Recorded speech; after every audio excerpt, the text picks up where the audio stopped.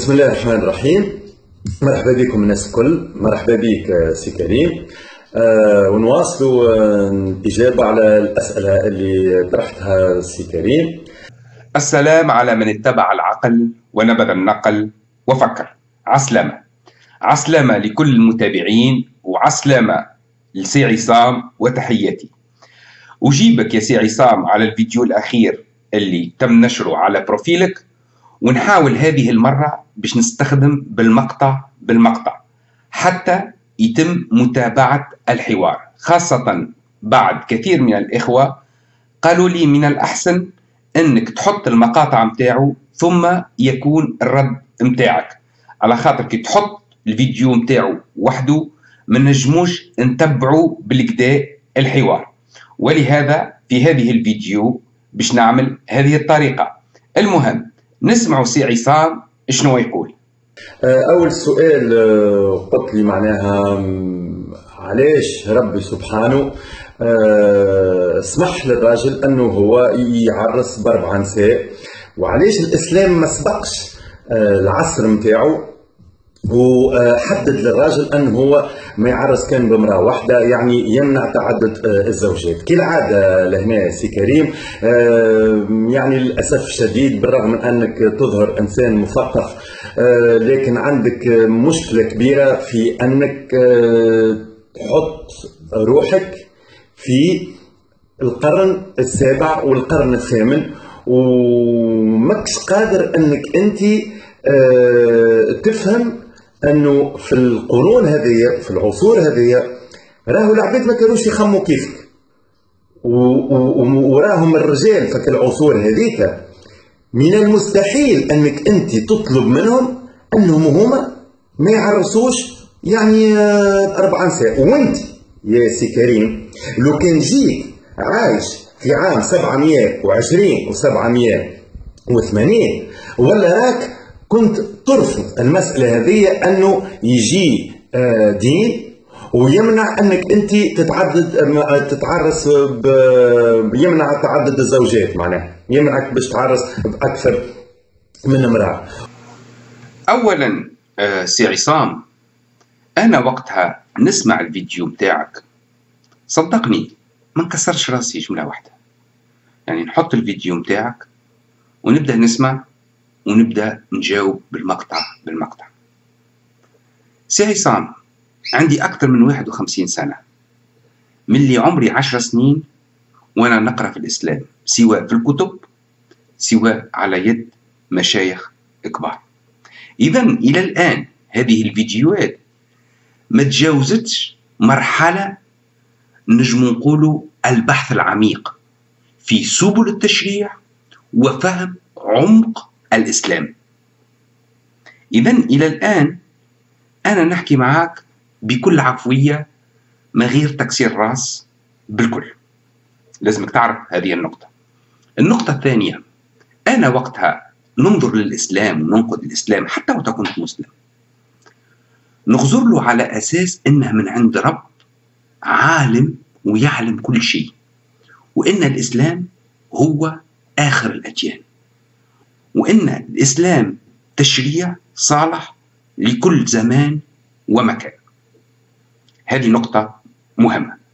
أنت تقول اللي أنا نغزر للإسلام بعقلية توا هذا مش صحيح. أنا الإسلام نغزر له بأنه مقدس. هذه هي النقطة اللي أنت ما حبيش تفهمها. أنت تحب تحصر الإسلام في زمن معين وتعمل له تبارير طبعا أنت كل الأفكار اللي تقول فيها نعرفها. يعني وهي ما هيش من اجتهادك أنت. خاطرك أنت ما تنجمش تجتهد. أنت ما عندكش السبل التشريعية والمعرفة العلمية في الدين الإسلامي لكي تشرع. أنت تنقل عن ما يسمى الحداثيين اللي هم بالفعل عندهم أدوات المعرفة التشريعية ولكن هم يخادعون الناس لأنهم يعرفوا أن الإسلام اللي موجود في الكتب غير صالح. خليني نجاوبك على السؤال متاعك متاع تعدد الزوجات. أول شيء أنت ما تعرفش حاجة جدا مهمة. أولا أنت ما تعرفش اللي أنا لا أعتبر الزواج بواحدة هو الأفضل أو هو الأحسن. بالعكس أنا مانيش ضد. تعدد الزوجات بل مانيش ضد تعدد الأزواج. أنا بالنسبة لي العلاقة الجنسية بين البالغين هي علاقة شخصية وحرية شخصية. المهم تكون بالغ عاقل وانت حر. تتزوج بعشرة نساء تتزوج بعشرة رجال الراجل يتزوج براجل المرأة تتزوج بامرأة كل إنسان حر. القانون هنا بالنسبة لي أنا شخصيا نحكي لك توا أنا سوى قبل سوى الآن بالنسبة لي أنا القانون يتدخل في أمور معينة. هي حماية الطفولة ومنع الاغتصاب والتحرش وحماية الحقوق على حسب العقد المبرم. أما تعرس بعقد بدون عقد تمارس الجنس مع أي إنسان أنت حر ما دامك أنت بالغ. هذه هي وجهة نظري تحب نقولها لك باش تعرفها. يعني أنا مانيش ضد تعدد الزوجات المرأة اللي تحب تكون معها امرأة أخرى وتعرس براجل هي حرة. هذه مسألة عقد واتفاق من بين شخصين بالغين. هذه نقطة جدا مهمة حبيتك تفهمها. أما أنت قلت لي في ذلك الوقت آه يعني كان مستحيل يقبلوا فكرة المرأة الواحدة ليس صحيح لأن وقتها هناك من هو متزوج بمرأة واحدة ومحمد بيدو وقتها تزوج بخديجة ما تزوجش عليها. يا سيدي نمشي لك أبعد من ذلك. المسيحية هي قبل الإسلام وهناك الزوجة الواحدة بل نمشي لك أبعد من ذلك. يعني على حسب المفهوم الديني. آدم وحواء. علاش ربك ما خلقش الآدم أربع نساء ولا عشر نساء وهناك كثير قبل الإسلام من يؤمن بالزوجة الواحدة. إذا هوني تقول لي أنت معناتها ما يقبلوهاش. يا أخي هما على كيفهم؟ هذا شرع إلهي. هذه أوامر إلهية مش على كيفك. وهذا تو نكملوا ونوضحوه في بقية الرد. وهدايا يعني الشيء نجموا إحنا نفسروه بالمثل اللي يقول إن أردت أن تطاع فاطلب المستطاع يعني من من المستحيل أنك أنت تجي تطلب من الرجال هذوكم انهم هما يخموا كيفك. هذه مسألة مستحيلة. معناها وبديهية. خاطر ثقافة المجتمع تختلف والعادات تختلف والتقاليد تختلف والقيم تختلف.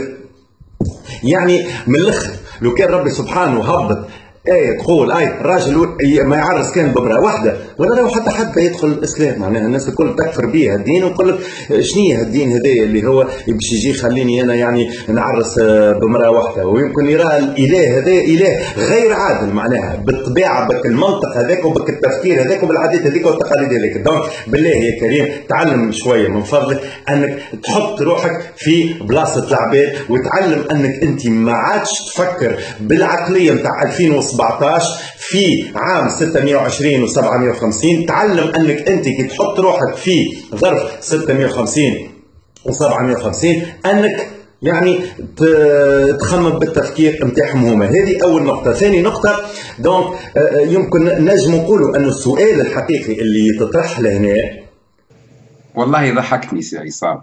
كأنه الزواج بمرأة واحدة في ذلك الوقت أمر غريب.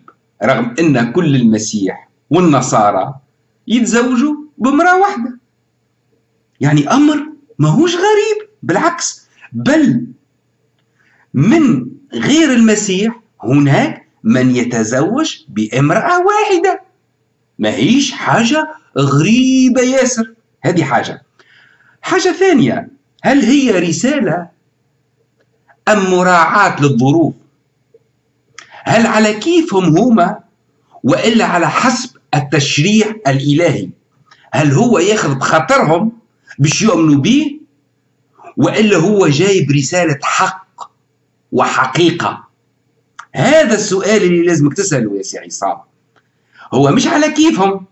وتنرجع لك من بعد وتنتكلم في هذا الموضوع إن هناك أمثلة تدل إن هناك أشياء وقتها كان متعارف عليها والإسلام حرمها.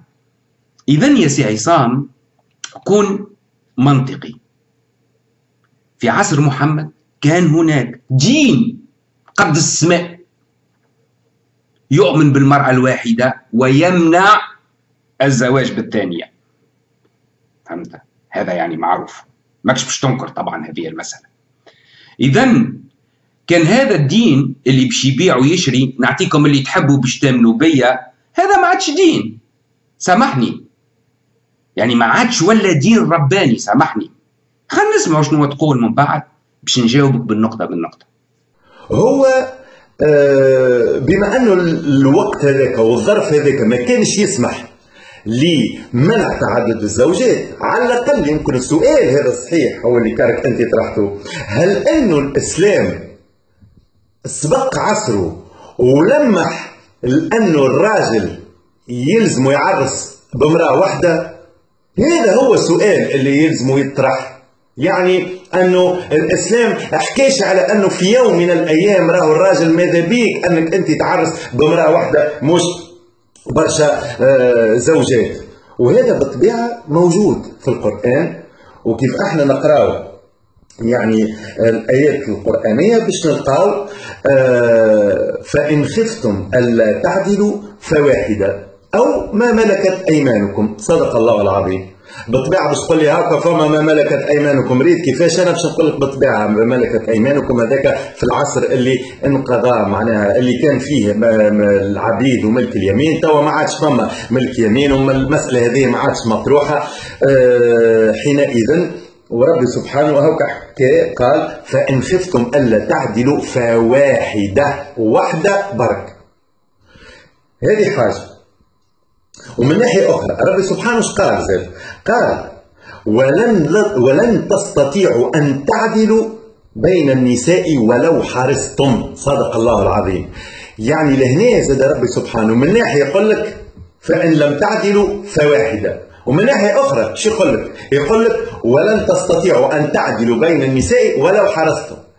شنو نجموا نخرجوا به؟ الكلام هذايا إحنا توا كيف نقراو القرآن. الشيء اللي نخرجوا به هو أنه في العصر هذايا ربي سبحانه ينادي إلى الزوجة الواحدة ومش تعدد الزوجات. يعني أنه الأصل هو أنه تكون واحدة. وربي سبحانه قال فإن لم تعدلوا فواحدة. ومن بعد يجي يقول لك ولن تستطيعوا أن تعدلوا بين النساء ولو حرصت معناها هكا ولا هكا؟ راك ماكش باش تعدل. وإذا كان أنت ما عدلتش تعرس بواحدة. يعني شوف يا سي كريم كيف تقرأ القرآن. ماذا بيا؟ كان تقرأه بأكثر عمق. وتقرأه يعني آه، ما نعرفش نحبش نقول بحسن نية ولا بطريقة إيجابية مي على الأقل أقراه. يا خويا بموضوعيه أقراه بطريقه موضوعية معناها وتقراه بطريقه جملية مش تقف في كلمة واحدة وتهد الدنيا الكل عليها الكلمة هذيك. باهي. يا سي عصام هل تخادع في نفسك وإلا تخادع بالاخرين يعني تقول إن الإسلام هو أول واحد معناتها تنبأ بالمستقبل وبالمرأة الواحدة. أول شيء كما قلت لك ماهوش أول واحد. وأهل مكة كانوا يميلون أكثر للزواج بالواحدة خاصة اللي عندهم ميولات نحو النصرانية. ومحمد كما قلت لك عرس بخديجة وما تزوجش عليها حتى اللي ماتت. وأرجع للتاريخ تتلقى قديش من واحد عرس بوحدة برك عادي. أمر عادي. يعني محمد ما جابش الصيد من وضنه وأنا نقول لك ونعاود نتحداك إن كل التشريع الإسلامي اللي موجود ولا تشريع أي دين لم ينزل من السماء. بل هو موجود موجود تنوع وجاء دين معين ومال لشيء ولم يميل لآخر. ومحمد لأنه من مكة وكما قلت لك أهل مكة كانوا يحترموا المرأة أكثر من أهل المدينة وأهل مكة كانوا أكثر تطور لأن أهل مكة مالوا إلى التجارة تخلاوا على الاستعباد وتخلاوا على الحاجات معناتها نتاع الصعاليك ونتاع البدو. نجم نقولوا أكثر تحضر. فهمت؟ يعني لو ترجع للمجتمع المكي كان أكثر تحضر وهذا الكلام نأكد عليه ونعاود نأكد عليه ونعاود نقوله لك فهمت؟ وعاود ادرس معناتها من الكتب الإسلامية ما تعتمد ما تعتمدش على حديث مروي عن عمر اللي معروف بتخلفه وميله للصعاليك وللمجرمين وانه متعصب وقومي للعروبة وانه يكره النساء وإنما عود إلى التواريخ الإسلامية الكلها. وابحث فيها تشوف إن أهل مكة كانوا بعدوا على الحروب وعلى المشاكل حبوا يجعلوا من مكة مدينة منارة فيها الحرية. وقت جاء محمد في الأول ما منعوهش. وقتاش منعوه؟ وقتها بدأ يقول لهم اعبدوا ربي وحده وسيبوا عليكم الربوبة الآخرين. قالوا يا سيدي تحب تدعو ربك ادعى على روحك. ما قلقك حد. ومسيلمة كان يدعو الرب وحتى حد ما كلمه. إذا هذه فكرة أن الآية القرآنية سبقت عصرها هذا كلام فارغ. يعني ما يصدقوا إنسان جاهل بالإسلام أصلا فهمت؟ لأن الزوجة الواحدة كان موجود عند النصارى والصابيين وغيرهم من المعتقدات وحتى عند الأشخاص. هذه معناتها نقطة لازمك تفهمها جيدا. أما مسألة الموضوعية من يجب أن يكون موضوعي؟ الطريقة اللي تفكر بها أنت أنا فكرت فيها قبل. عندي عشرين سنة فكرت فيها. فكرت في إطار الدين على أساس أن هذا دين إسلامي. وأنا تو نحكي لك في آخر الفيديو معناتها شنو اقترحت ولعلمك ولعلمك أنا مانيش ضد إصلاح الإسلام. ولكن أرى إصلاحه بطريقة غير طريقة الكذب والنفاق على الناس. أنا أؤمن بالموضوعية الفعلية الحقيقية العقلية المنطقية. مانيش نؤمن بالخداع والكذب. هذه حاجة. حاجة أخيرة. بأي حق تقول الزوجة الواحدة هي اللي لازمها تكون؟ بأي حق؟ أنا آه، شديت الآية هذه كل الآية وعاودت عملت لها تبديل. وحطيت روحي في بلاصة الرب. شنو قلت فيها؟ كنت تحب معناتها نضحها لك هي أنا كتبتها وقتها بالفرنسي ونحطها لك يعني كنت تحب بالفرنسي باش تقراها. تشوف هل هي خير أم ما موجود في القرآن. أنا بالنسبة لي قلت يعني كان جيت ربي نقول اللي تحبوا تعرسوا تعرسوا بالعقد ولا بدون عقد. المهم التفاهم والمحبة من بيناتكم. تحب تعرس بعشر نساء عرس ولا أكثر كان نساء قابلين إنها يعرسوا بيك. وأنت بعرس. وكان امرأة تحب تعرس بعشر رجال تعرس. كان الرجال يقبلوا بها إنهم يعرسوا بها وهي عندها راجل. اذا هوني تلاحظ اللي هذا هو المنطق. يعني أنت على حسب قولك إن الإسلام كان يشجع الزوجة الواحدة. يا سيدي أبعد عن الموضوع هذا الكل. لو كان الأمر هكذا لماذا لم يبين ذلك في القرآن؟ علاش اللف والدوران هل هذا إله أو مخادع؟ يا سيدي أبسط شيء. علاش محمد ما عملش المثل ويتزوج امرأة واحدة؟ وقت ماتت خديجة يمكن يعرس بامرأة أخرى فقط. علاش وقت مشى للمدينة ولات عنده تسعة نساء ها؟ علاش؟ هل هذا المثل؟ يا سيدي هو ما هو نبي ورسول ومنزل من عند الله وكذا على الأقل هو يعطي المثل السنة.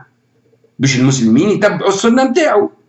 مش هو يعرس أكثر من اللي موجود في القرآن بيدو اللي يقول لك أربع نساء هو سبع الروح الأكثر هذا باش يوريك الطبيعة الإنسانية البشرية للدين الإسلامي. وكما قلت لك محمد ما جاب حتى شيء جديد. أنا نتحداك جيب لي حاجة موجودة في الإسلام لم تكن موجودة في عصره باش يوريك اللي هو ماهوش وحي.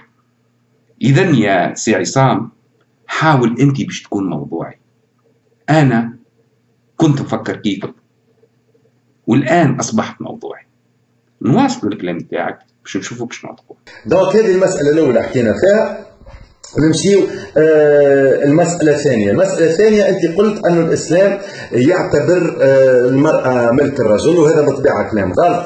على خاطر آه, آه، يعني أحنا توا ابسط قاعدة معروفة في الإسلام هو أنه آه، الراجل ما عندوش الحق أنه هو يتصرف في الممتلكات نتاع زوجته في الشهرية نتاع زوجته وهو مطالب دينيا أنه ينفق عليه. يعني المرأة ماهيش آه، ملك الراجل. الكلام هذايا آه، غلط معناها. هذا ثاني نقطة. ثالث نقطة أنت إيش قلت؟ قلت لا يا سي عصام المرأة يجب أن يكون لها ولي. سوى أبوها سوى أخوها سوى زوجها. أما بالنسبة لأبوها وأخوها أو المحارم متاعها هم مطالبين مطالبين باش يحميوا شرفها. اللي من بعد هي باش تبيعه بمهر لزوجها. والزوج له حق الفراش. حتى بعض العلماء يعني يقول لك علاش المرأة لا تخرج إلا بإذن زوجها؟ لأنه يمكن هو يحتاجها للفراش وما يلقاهاش. يعني حق الفراش هو حق للرجل ولا يحق للمرأة أن تمتنع إلا بسبب معين اللي هو الحيض وغيره ولكن لا يمكن أن تمنع نفسها من الملاعبة. هذه مسألة واضحة والأحاديث تدل على ذلك والتاريخ يدل على ذلك يا أخي.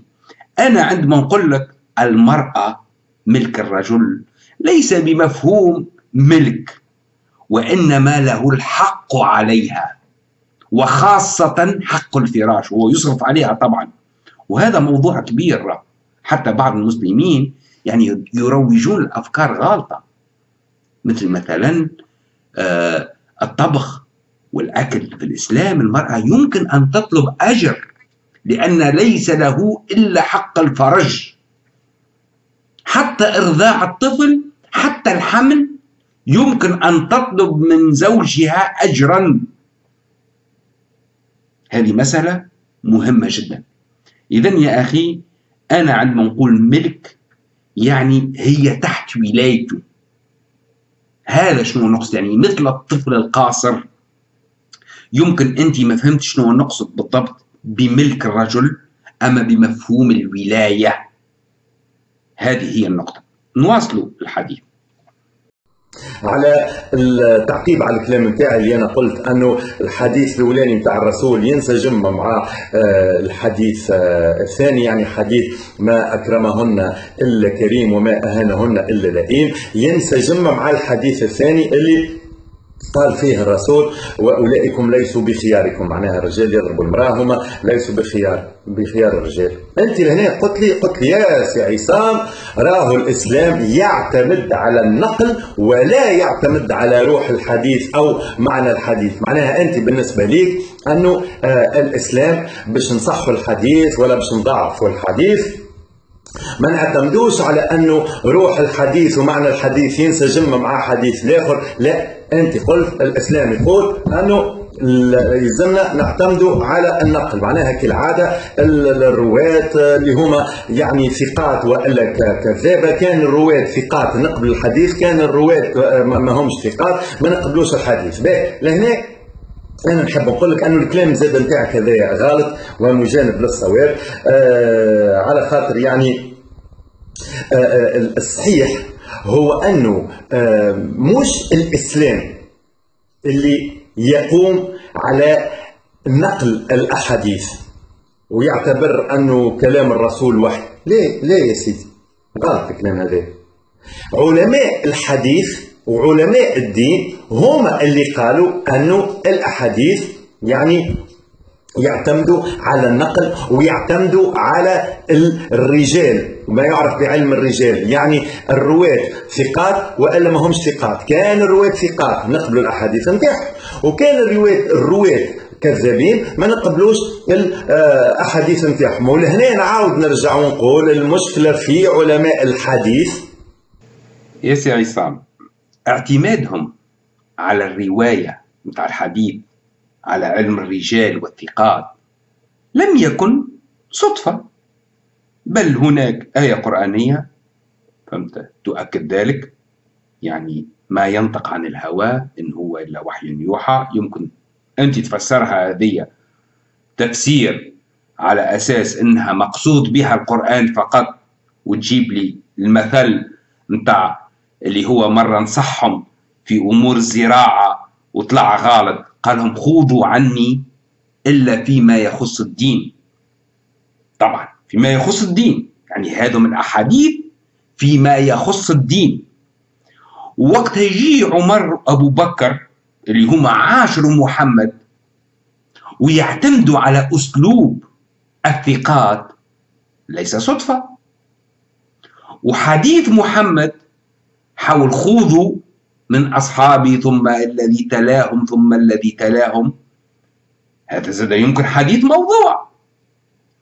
أنت ماكش فاهم المعنى علاش علماء الدين اعتمدوا على علم الرجال وعلى الثقات لأنهم يعتبرون أن اللي يقول محمد لا يمكن أن يكون هراء وكلام فارغ. يعني ما دام يتأكدوا اللي الكلام هذاك قالوا محمد بالنسبة لهم مستحيل يكون كذب وإن قال نتاع الذبابة اللي تهبط في اناء فهمت؟ وقلبها على جناحها الآخر لأن في جناحها في جناحها فيها داء وفي الجناح الآخر فيه دواء هما بالنسبة لهم هذيك حقيقة. اذا يا سي عصام هذه قواعد الإسلام منذ 1400 سنة. وهذه قواعد الصحابة كان أنت تجهلهم وتحمرهم الكل كل العلماء جهال والآن الأزهر جاهل والزيتونة جاهل والمدارس الدينية الكل جهال. ومعناها المقياس هذايا نتاع أنه إحنا باش نقول الحديث صحيح ولا غير صحيح أنه نقفوا على رواة الحديث هكا هو هذا مقياس إنساني عملوه علماء الحديث وماهوش مقياس موضوعي وماهوش مقياس للأسف الشديد ما كانش مقياس آه يعني آه ما كانش مقياس موضوعي. علاش؟ على خاطر ما خذاش بعين الاعتبار المحتوى نتاع الحديث واللي هي مسألة مهمة. وقداش من مرة نلقاو أحاديث فيها محتوى معناها عجيب ويبهت ويدوخ ومن بعد يقول لك لا هذا حديث صحيح. قال شنو على خاطر الرواة نتاعو آه، ثقات يعني المنهج هذايا حطوه علماء الحديث. ماهوش منهج الإسلام. ما تدخلش أنت الإسلام في حاجة اللي هي هو بريء منها واللي السبب فيها هما علماء الحديث. علماء الحديث هما اللي قالوا أنه الأحاديث يقع قبولها بالنقل وبالتوثيق الرجال. ما هوش الإسلام؟ الإسلام خطير في المسألة هذه. وهذه سبب مشاكل كبيرة ياسر عندنا في الأحاديث. وهنا باش نعطيك مثال بسيط على كيفاش المقاييس نتاع العلماء الدين قداش ما كانتش موضوعية ما كانتش بالكل موضوعية. نعطيك مثال بسيط مثلا إلا طبعا اللي أنت تعتمد عليهم ما يسمى الحداثيين هما اللي فاقوا بعد 1400 سنة اللي هذاك الكل كده. يا سيدي فرضنا إن هذا غلط ماهوش دخل في الإسلام وإن كل علماء المسلمين بالفطاحل نتاعهم باللي عداو 70 سنة وهما يقراوا في الدين ويتعلموا في الدين بالصحابة نتاعهم بالتابعين والتابعين والمقربين كلهم بهايم. حاشاك آه نفترضوا نفترضوا يعني هذا كلامك صحيح. ما تواجهش الكلام ليا. امشي وجهوا ليهم. امشي وجهوا ليهم هما. تحكيش معايا أنا. أنا عندي إسلام قدامي. عندي قوانين ومصادر بالتشريع. وفما علم الرجال وعلم الأنساب والثقات وغيرها. أعتمد عليه. أنا ننقد في الإسلام هذا. أما رأيي أنا في الإسلام ما هو بالضبط هذا كان موضوع آخر. خلينا إحنا في المصادر الموجودة. هذه. إذا يا أخي امشي قول لهم لهم هما. امشي للأزهر. فهمت؟ وطبعا اللي عم تقول فيه أنت واللي يقولوا فيه الحداثيين يعتبر تكفير. يعني هم كفروكم. وأنا ماذا بيا شنو؟ نخسر أنا كان علماء الدين ينحيوا التفكير الجاهلي وهذا النقل ويعتمدوا على العقل. يساعدني. أنا كإنسان يساعدني إنهم يوليوا منطقيين. اذا نواصلوا شنو الكلام بتاعك يعني آه، نلقاو إحنا في آه، علم الحديث شكون الثقة وشكون اللي ماهوش ثقه به اللي ثقة مثلا شكون نلقاو؟ نلقاو مروان بن الحكم ونلقاو معاوية بن أبي سفيان. هذوما قال لك يعتبروا من الثقات. علاش؟ قال شنو؟ على خاطر الصحابه والصحابة كلهم ثقات. هي لكن الصحابة فيهم الباي وفيهم الخايب. يعني هذا سي مروان بن الحكم ومعاوية بن أبي سفيان كانوا يسبوا في عائله الرسول. كيفاش أحنا نوثقوا عباد وننقلوا أحاديث على العباد كانوا يسبوا في عائله الرسول؟ مروان بن الحكم كان يجي للحسن والحسين يقول لهم يا أبناء الملعون. علي بن أبي طالب ملعون. ردوه. آه مروان بن الحكم كان يجي للحسن والحسين يقول له المثل نتاعك كمثل البغل. يعني آه، البغل يتفخر بامه اللي هي الفرس ويبدأ يستعر بوه اللي هو الحمار. يعني هو يحب يقصد هنا أنه هو الحسن والحسين كانوا يتشرفوا بأمهم فاطمة الزهراء ويستعروا بوهم. علي ابن أبي طالب. وشبه علي ابن أبي طالب بالحمار بالبهيم. هذا مروان ابن الحكم هذا سيدي قال لك من الثقات.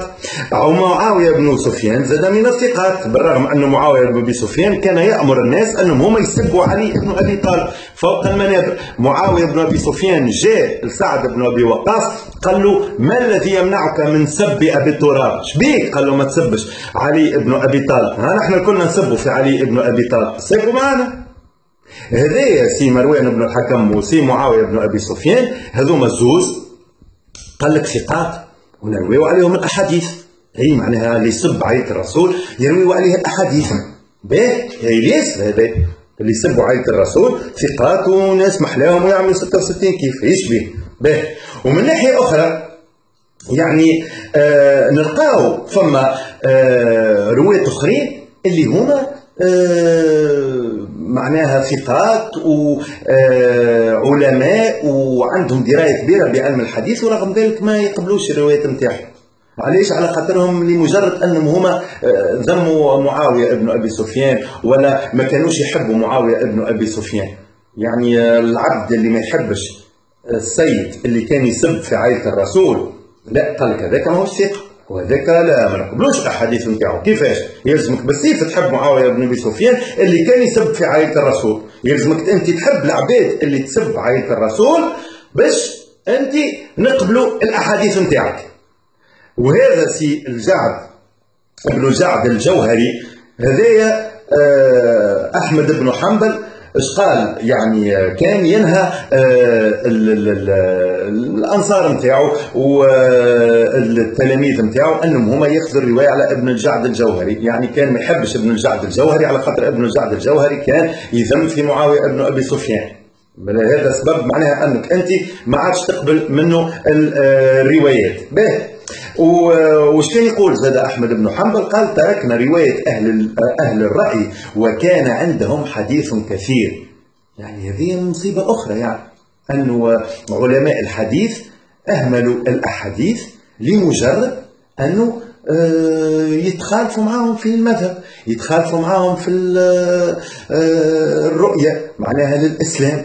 ويعرف أن الحديث صحيح ورغم ذلك لا ما يقبلوش. ويعرف أن الراوي هذيك ثقة ما نقبلوش عليه الأحاديث.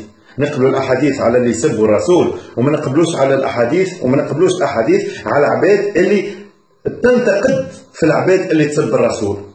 هذا هو علم الحديث على شنو يقوم معناه آه نزيدك أكثر من هكا. معناها الأسباب ما كانتش حتى مذهبية ولا سياسية معناها السنة وشيعة وواحد لقبول الحديث أو عدم قبول الحديث أو أنه حتى واحد يدافع شوية معناها على عائلة الرسول اللي الرسول كان يحبهم. ليه؟ معناها المسألة وصلت حتى الخلافات شخصية معناها. يعني par exemple شو نقول لك آه ثم آه عالم من علماء الحديث آه وصل أنه هو كان يروي الأحاديث على عالم آخر في الأحاديث وفي الرواية. آه نهار من نهارات دخل المجلس آه الذهلي هذايا دخل المجلس والسيد الآخر اسمه أبو قدامة السرخسي ما قامش من المجلس. معناها تلقاه ما راش ولا هكا هوش مركز ولا حاجة ما قاملوش. من المجلس باش يسلم عليه على السلامة آه أيها الإمام الذهلي وشني أحوالك ولاباس وكذا. آه ما قامش من المجلس نتاعو. يا أخي الإمام الذهلي ولا ما عادش يروي الأحاديث على أبو قدامة السرخسي لمجرد أنه هو دخل المجلس والآخر ما قامش سلم عليه.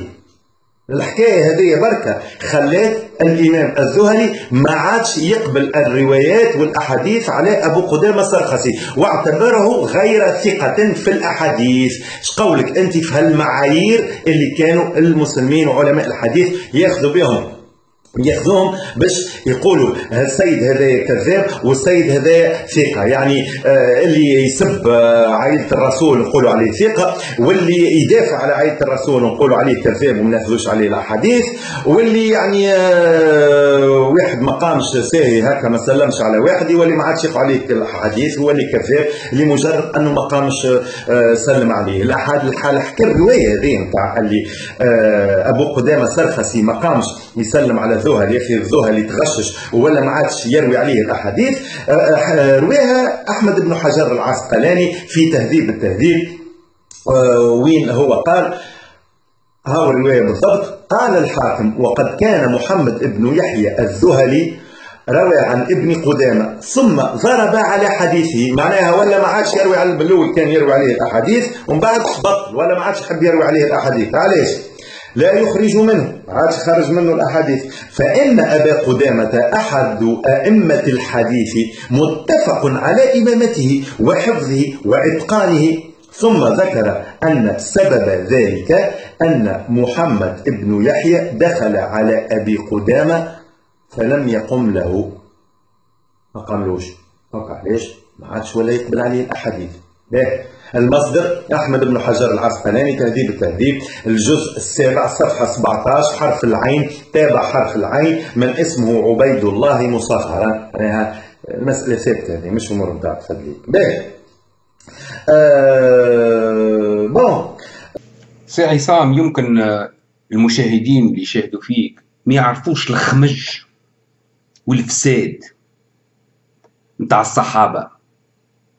وأقرب وحود لمحمد ومنهم نساء لكن أنت هاك مطلع وذكرت يعني بعض شوية الخمش رغم اللي نجم نقول لك أنا أكثر من هذاك الخمش. والفساد وتدخل السياسة والمصالح الشخصية وسرقة الأموال وش عمل عثمان وش عمل أبو بكر. فهمت؟ وحروب الردة. وش عمل خالد بنويرة بل أبعد من ذلك شو عمل محمد في المدينة؟ ها شو عمل في آه أم قرفة؟ كيفاش قصها؟ ها وقتله لليهود في يوم واحد. ها الجرائم اللي عملها محمد في عصره. يعني كما يقال إن كان رب البيت بالدف ضارب فلا تلومن بقية أهل الدار إن كانوا بالرقص مولعين. كان محمد بيده ارتكب جرائم لا تحصى في عصره فما بالك بأبو بكر؟ فما بالك بعمر؟ فما بالك بخالد؟ ها اللي تخلى بمرت واحد مسلم رفض إعطاء الزكاة. ها والحروب اللي قادها وحرب اليمامة اللي ماتوا فيها القراء. وعثمان شنو له رغم الحديث اللي معناتها بعض يضعفوا بتاع عائشة أقتل نعثل فقد كفر. من بعد عيشة هذه اللي تاخذ منها الأحاديث ها؟ هي لا لعنت لا شيء يا علي وإنما قاتلته بالسيف وخرجت. والصحابة اللي تقتلوا في حرب الجمل من المبشرين بالجنة هل عايشة تاخذ عليها أنت؟ تاخذ عليها الحديث بين ما تاخذش عند عند معاوية على خاطر يلعن في علي. وتاخذ من عند عايشة اللي قاتلت علي بالسيف ومعاها فطاحة للصحابة. ها؟ تاخذ عليها هذه هذه إنسان تاخذ عليها؟ ها؟ وعمر اللي عملوا تاخذ عليه عمر؟ نجبد لك خنار عمر الكل شنو عمل له؟ اللي ديجا معناتها الخلافة خذاها عطاها له أبو بكر. فين الشورى اللي تكلموا عليها؟ وشورى وما شورى علاش أبو بكر يوصي في عمر؟ هل أبو بكر أكثر من محمد باش يوصي هو شكون يكون خليفة من بعده؟ ها؟ ومحاصرته لبيت علي عندما رفض البيعة لأبو بكر. ومحمد ملوح ثلاثة أربع أيام ما دفنوهش وهما يتعاركوا في السقيفة ها هل هذا مسلمين؟ هل هذا تتصور يؤمنوا بجنة ونار؟ أنت تصور محمد كان جاي يؤمن بجنة ونار وبعقاب يعمل اللي عمله؟ أبو بكر كان جاي يؤمن بجنة ونار فهمت يعمل اللي عمله عمر اللي قال أحرقوا عليهم البيت يا أخي قالوا له موجود فيها فاطمة اللي يقول فيها محمد بضعة مني قال وإن كان تحرق ربهم. ها؟ سي عصام هذا موضوع كبير. أنت ذكرت شوية من الخمج بتاع الصحابة. ها؟ أنا نزيد نذكر لك خمج الصحابة وخمج محمد وخمج علماء الدين 1400 سنة اللي دخلوا الدين على أساس مصالح شخصية. وهك ذكرت انت بعضهم. شكرا لك يعني. بش المشاهدين متاعك اللي يفتخروا إنهم مسلمين يعرفوا ما عند شكون ياخذوا في الدين متاعهم. الزهري هذا مازلت تاخذ من عنده أنت؟ مازلت تغزر له الكتب متاعه؟ ها؟ وتعتمد على الأحاديث متاعه؟ عندما تقرأ هذا الخمج الكل اللي موجود في كتب التاريخ الإسلامي مازلت أنت تتشرف بالإسلام أصلا؟ ها؟ مازلت تتشرف بالإسلام وتحب تصلحه. إيش باش تصلح فيه؟ رغم اللي قلت لك الإسلام نجم نصلحه لكن مش بالطريقة هذه. الإسلام لازمنا نعترفوا نعترفوا بالجرائم اللي قام بها الإسلام من عهد محمد في المدينة. ها؟ محمد بحد ذاته لازم يحاسب. لأن لو نحب نصلحوا الإسلام نصلحوه على القواعد الصحيحة على روح الدين كدين بغض النظر انه إسلام ولا غير إسلام. للأشخاص طبعا اللي محتاجين الدين أما الأشخاص اللي خدموا عقولهم فهمت؟ في حرب صفين وقتها جيش معاوية رفع المصاحف وقالوا العلي شنو نعملوا؟ قال لهم أضربوه. اضربوا المصاحف إنه ما هو إلا كلام بين دفتين. ها؟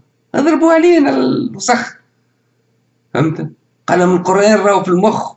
القرآن الناطق هو الإنسان. ها؟ وأبو بكر رفض جمع القرآن حتى معناتها جبروا عمر باش يجمع القرآن.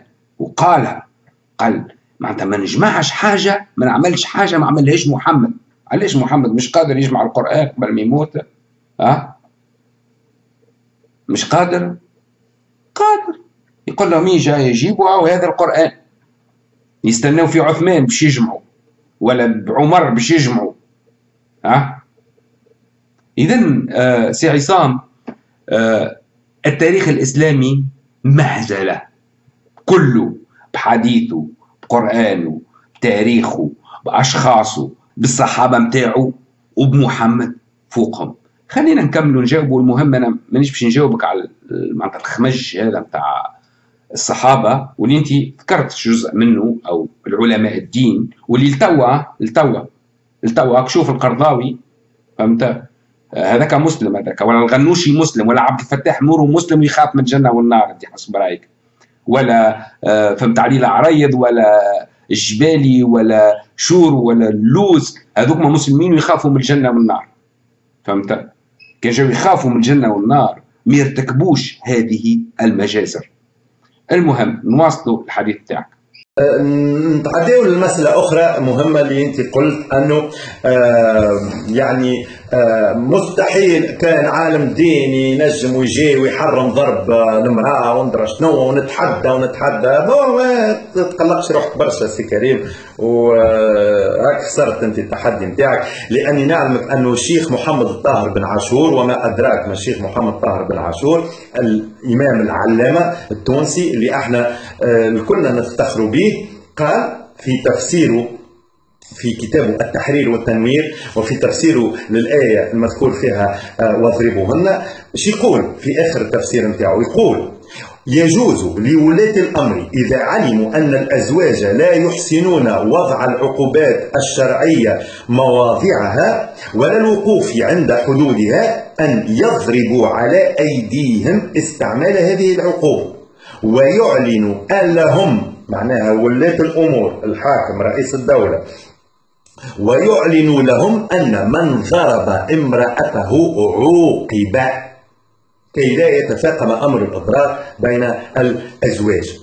يعني لهنا سي كريم كالعادة أنت معناها ظاهر أنه من كلامك ساعة لهنا اطلاعك على يعني علم الحديث ماهوش كبير. ياسر ومعناها ندعوك أنك تزيد تقرأ علم الحديث الساعة باش تفهم أنه آه، مش الإسلام اللي يدعو إلى تصديق الحديث يعني آه، بهالمقياس هذا نتاع الرجال واحد وثاني حاجة أنه ندعوك أنك تراجع معلوماتك بالنسبة للرأي نتاع علماء الدين في مسألة آه، ضرب المرأة. يعني هاك ريت قدامك أنت عالم دين. آه، عظيم كما الشيخ محمد طاهر بن عاشور. اعلن أنه مر آه، ولي الأمر الرئيس آه، عنده الحق أنه هو ما عادش يخلي الرجال يضربوا النساء نتاعهم على خاطر الرجال ينجموا يضربوا النساء نتاعهم ما يضربهمش الضرب اللي ربي سبحانه يحكي عليه معناها الرسول يعني حكى عليه أنه آه، تضرب آه، يعني ضرب غير مبرح وضرب خفيف معناها اللي هو يكاد يكون غير ضرب. آه، وها التحدي نتاعك يعني؟ لا ماهوش في بلاصته معناها. فما شكون قال أنه المرأة يعني ما تتضربش؟ معناها ولي الأمر عنده الحق أنه هو يمنع الضرب نتاع المرأة. يعني ما فماش مشكل أنه الآية هذه الآية هذه في العصر هذايا إحنا نقولوا من غير المناسب ضرب المرأة ما يقلقناش معناها إحنا كمسلمين نقولوا الحكاية هذه وما يقلقناش أنه نقولوا أنه الآية هذيك هبطت في ظرف تاريخي معين بعقلية معينة وفوالا مانيش أنا الوحيد معناها اللي متبني الموقف هذا. أو الشيخ محمد الطاهر بن عاشور زاد متبني الموقف هذا. يعني شنو المشكل؟ شنو المشكل؟ المشكل هو في فهم الإسلام وليس في الإسلام، الإسلام لباس عليه، أما إذا كان أنت تحب تفهم الإسلام بطريقة يعني هكا فيها نوع من الإجحاف وفيها نوع من الظلم. بالطبيعة باش تخرجوا دين خايب ياسر. وكان تتعامل معاه بحسن نية وكان تتعامل معاه هكا بموضوعية وبتدبر. تو تلقى أنه ما فما حتى تناقضات في الدين نتاعنا والحمد لله معناه. باهي لهنا يا سي عصام مانيش باش نجاوبك يعني جواب مباشر. أحاول معناتها قلت لي أنا بهيم ما نعرفش الدين وما نعرفش طاهر بن عاشور. ما نعرفش أنت كان تعلم ولا يعني يمكن ما تعرفنيش صحيح. أنا بديت دراسة الدين وأنا عمري تقريبا عشر سنوات حتى قبل. فهمت؟ وكنت نحضر الحلقات بتاع صالح كركر ومتاع زوجته اللي هي أختي. وكنت نحضر الحلقات الخاصة بتاع حميد النيفر في باردو. هذا معناتها في تونس. آه. ومنعرفش كان حميد النيفر يعني من التقدميين في هذه المسألة. وفي هذاك الوقت كانت المساجد تعم بعلماء الدين. وكانت الحلقات بعد العصر ما نفلتش حلقة واحدة في دراسة الدين وبحث الدين. كان أنا تونسي ما نعرفش طاهر بن عاشور وما قريتش طاهر بن عاشور وغيره من العلماء الدين الفطاحل بتاع الزيتونة. يعني إيش تحبني نقول لك. يعني أنا حمار حتى ولو كنت حمار أه؟ أحمر إنسان ممكن. ما نحكي لكش على الدراسة نتاعي في إيران وفي سوريا وفي فرنسا ما نحكي لكش على هذاك الشيء كله. فهمت؟ ما نحكي لكش هذاك الكل. خلينا هذوك ما شيعة وهذوك ما معناتها معناتها ما يعرفوش الدين. وبعد وبعد دراستي ورسالتي العملية فهمت؟ يعني حبيت حاولت راني عملت رسالة عملية لتصليح الإسلام. وعندي ما زالت موجودة إلى الآن الرسالة العملية نتاعي. واللي تم رفضها من طرف علماء الدين لأنها تخرج على الخطوط الحمراء. أنت تصور طاهر بن عاشور يتبع العقل ولا يتبع النقل؟ م? أولا حاجة أنت ما فهمتش. ماكش فاهم الأحكام الإسلامية. امشي أرجع وأقرأ. فهمت؟ تعطيل الأحكام. هل تدري أن الحاكم الشرعي أو الفقيه يمكن أن يعطل الأحكام عامة في فترة معينة. ويمكن القاضي أن يعطل حكم على شخص معين ويمكن أن يعطل حكم شرعي على مجموعة معينة. وهذا لا يسمى تعطيل عام بل تعطيل خاص. هل طاهر بن عاشور قال حرام ضرب المرأة؟ ها؟ قال حرام ضرب المرأة لا. ما نعرفش كان اللي قاعد تقول فيه قاعد تفهم فيه ولا لا. أما عاود اسمعوا شنو قال بالضبط طاهر بن عاشور باش تفهموا فهمت؟ عاود أقرأ. قال لك في حالة إن الشخص ما ينجمش يتحكم في روحه يحرم عليه إنه يمس امرأة يعني هذا يسمى تعطيل خاص لشخص. أنا مانيش نحكي على ذاك. أنا نحكي على حرمة كلية.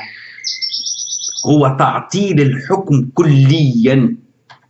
وهناك في الشرع الإسلامي طريقة لتعطيل الحكم كليا.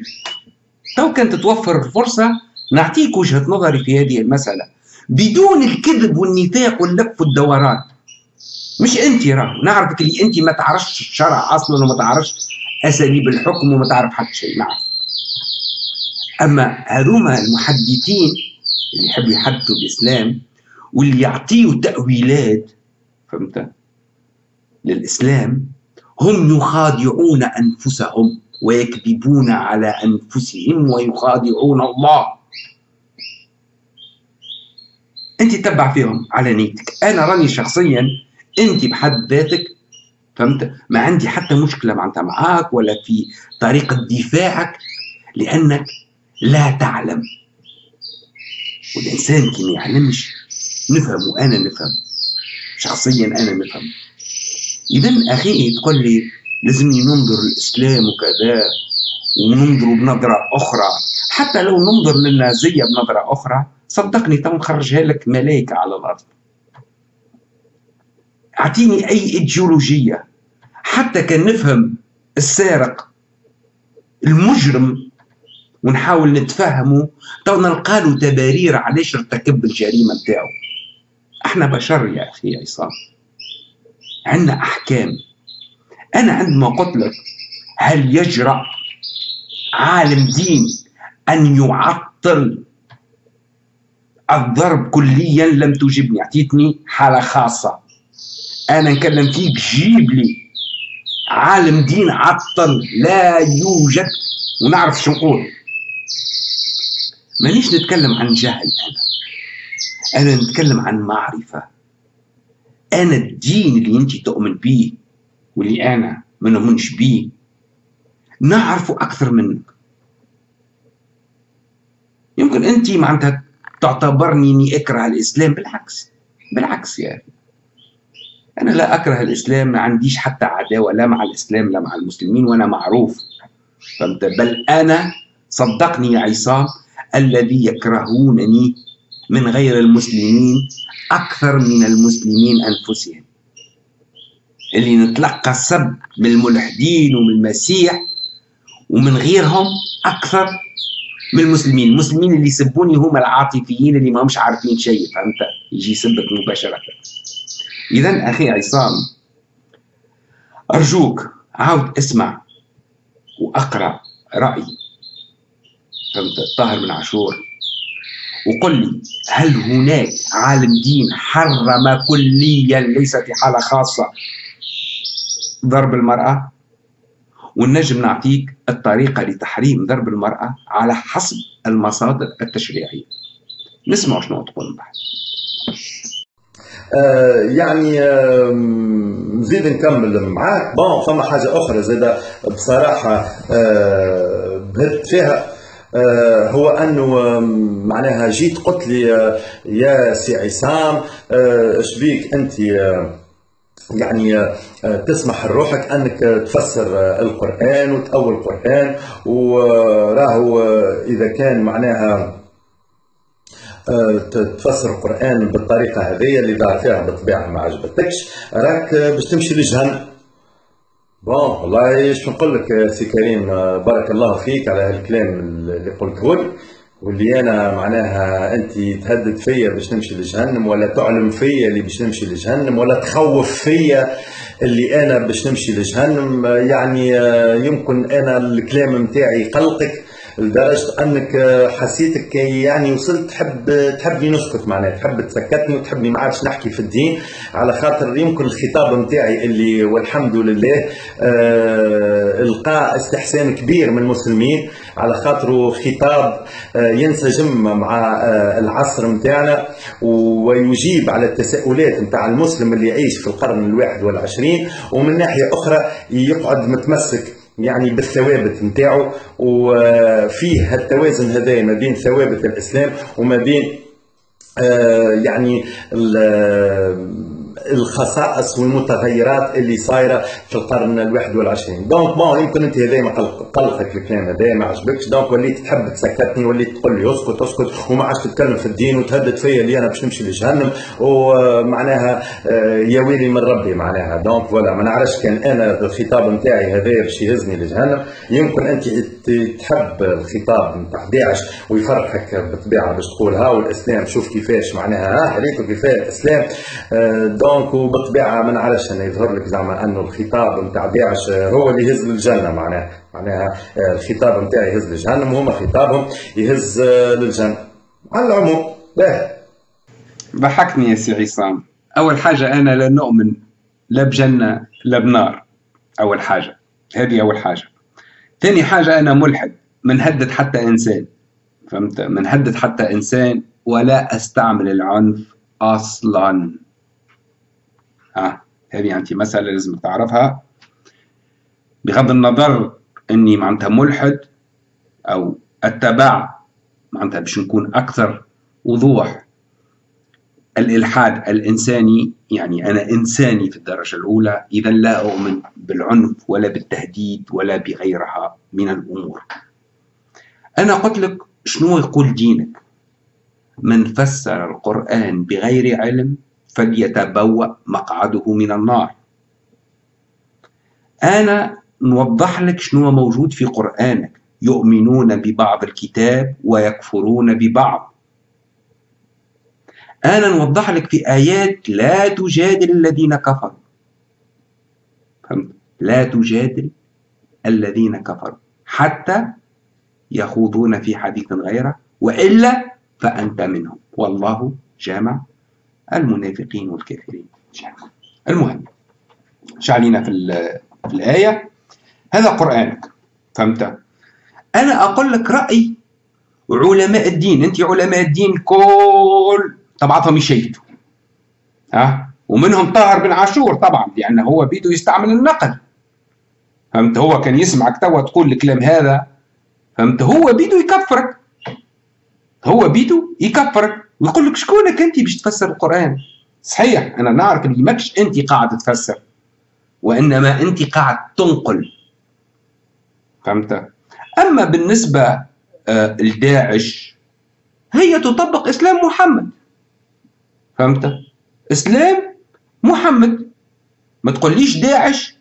فهمت؟ قاعدة تطبق في إسلام حداثي. لا الإسلام اللي يطبق فيه داعش واللي يدعو ليه الأزهر هو إسلام محمد. علاش؟ محمد ما قطعش اليد. فهمت؟ ما أمرش بالصلب. داعش تقطع اليد وصلب. حتى السعودية. السعودية كيف كيف تقطع اليد؟ محمد ما رجمش ها؟ داعش ترجم. علاش انت تسخايب الاسلام اللي قاعد تدعو إليه هو إسلام اللي عمله محمد؟ لا. وانت تعترف تقول لك هذاك وقته. هذاك الإسلام ما عادش يصلح. ما عادش يصلح. انتهى الزمن بتاعه فهمت؟ الضرب وتعدد الزوجات وغيرها والرجم وقطع اليد و... وكل هذه الأمور ما عادش تصلح. فهمت؟ يعني لازمنا إسلام جديد. لوحوه هذاك الكل في الزبلة بالقرآن نتاعو بالآيات نتاعو بكل شيء بالأحاديث نتاعو علماء الأمة الكل. فهمت؟ بهايم. وما يعرفوش الدين والصحابة ما يعرفوش الدين. واللي تبع فيهم انت فهمت؟ ما نعرفش شكون آه، معناتها تتبع بالضبط يعني ألفا يوسف وغيرهم يعني فهمت؟ الحداثيين هذم فهمت؟ هما اللي على حق. والباقي على باطل أحنا ضد هذه الفكرة. فهمت؟ إنك تطرح نفسك أنت هو الإسلام الحق وغيرك الإسلام الباطل. يعني الآخرين كفار وأنت هو المسلم. بأي حق. ها؟ الإسلام ليس واحد سامحني. فما عشرات مئات المذاهب الإسلامية يا أخي. اذا حبيت نقول لك يا سي عصام تهنى. لا فما لا جنه لا نار. ومانيش نهدد فيك لا بالنار لا شيء. اللي يهدد فيك هو دينك وأحاديثك. هو اللي يهدد فيك بالنار. على خاطر تفسر بالقرآن بغير علم. طبعا أنت مش ذنبك لأنك ماكش أنت اللي قاعد تفسر وأنت قاعد تنقل فقط. ولكن معروف في الإسلام المساعدة على الشيء كفاعله. فهمت؟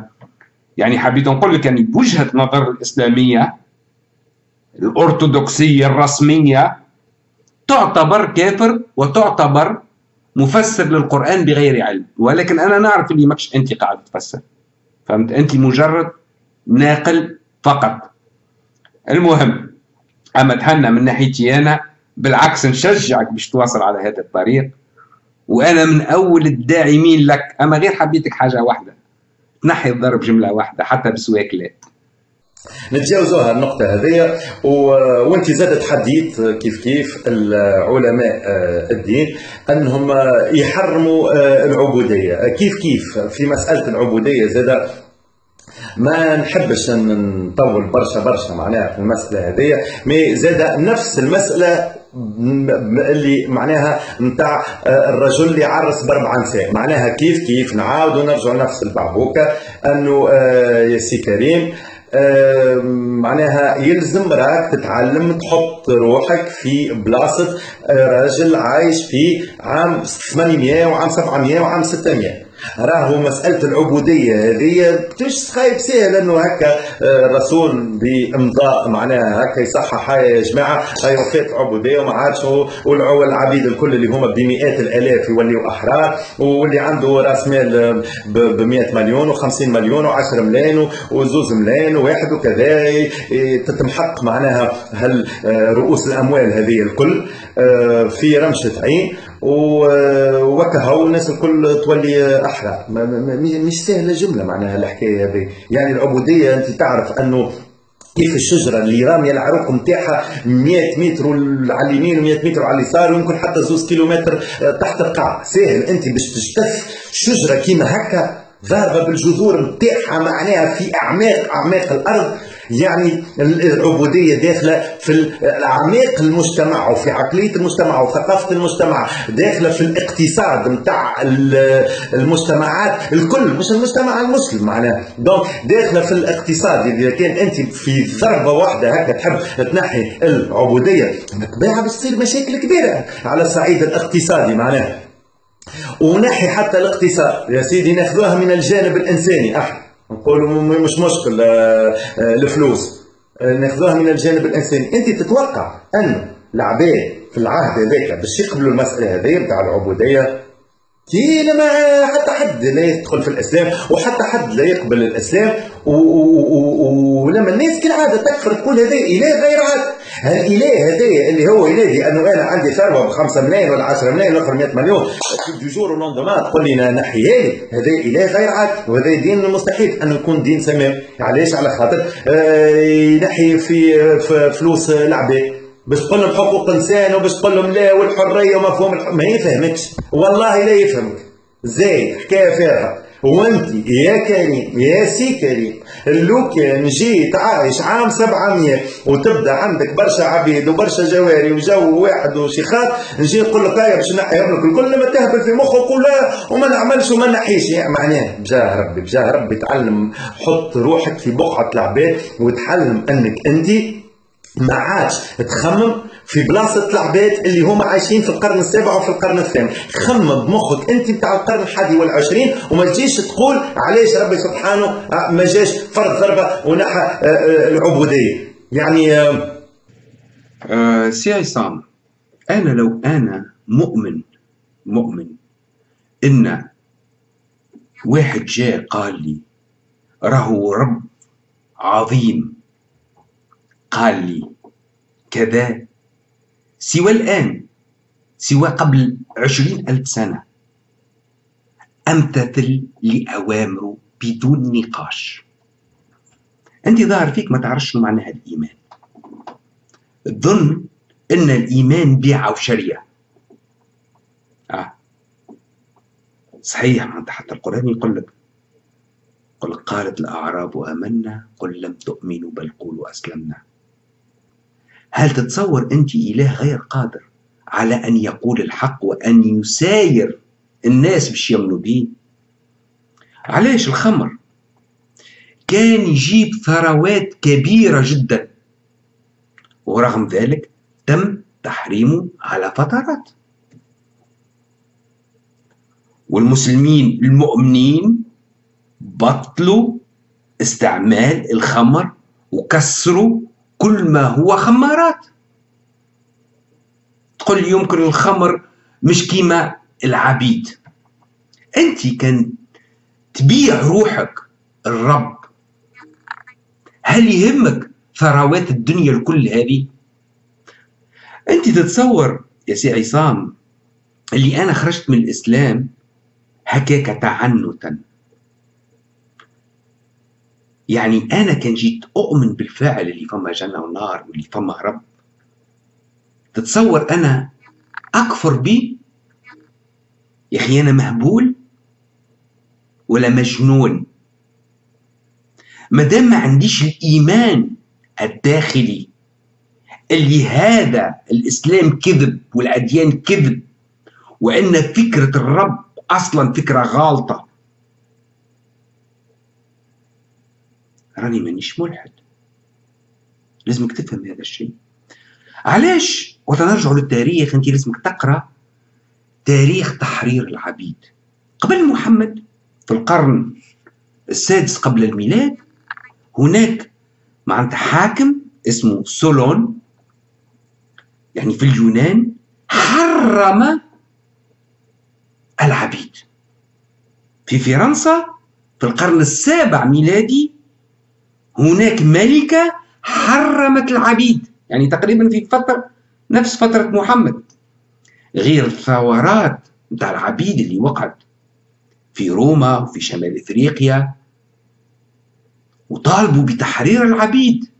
حتى في الدولة العباسية هناك ما يسمى ثورة الزنج العبيد. حتى واحد ما يحب روحه عبد لا الآن لا في الماضي لا في مستقبل ما فماش إنسان عنده مخ وعنده إحساس وعنده وعي يحب يكون عبد. هذا الرب اللي يبيع ويشري وخايف منهم لا يكفروا به علاش ما استناش حتى لتوا؟ باش يرسل رسول. علاش راسلوا قبل 1400 سنة وقت مازالوا متخلفين يا سيدي علاش ارسلوا قبل 1400 سنة وقال هو آخر الرسل؟ علاش ما استناش لتوا ولا في المستقبل؟ وقت البشرية تتطور وتفهم باش يقول الكلمة الحق. ما نعرفش أنا هل تخادع نفسك ولا تخادع في شكون بالضبط؟ مانيش فاهم يا عصام صدقني. يمكن غير واعي وأنا نفهمك. حتى أنا كنت غير واعي كيفك؟ صدقني. كنت ندافع نقول لا أكيد من ورائها حكمة. ولكن وقت خممت بمخي وباحساسي الانساني عرفت اللي الكلها لعبة سياسية كلها مصالح لا أكثر ولا أقل. اذا أخي مش مسألة نحط روحي في هذاك الوقت صدقني حتى قبل عشرين ألف سنة. أنا وقت كنت مؤمن بالإسلام كنت أرفع راية الإسلام. ما نجدش تبريرات. مستعد باش نموت في سبيل الله. وكنت أدعو.